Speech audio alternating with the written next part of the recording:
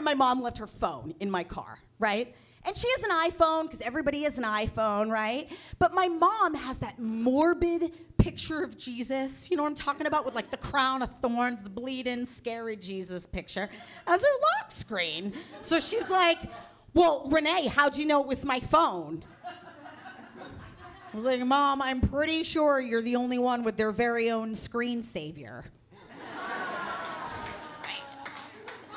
Ridiculous. I don't think my mom's read the Bible. I gotta be honest. I don't.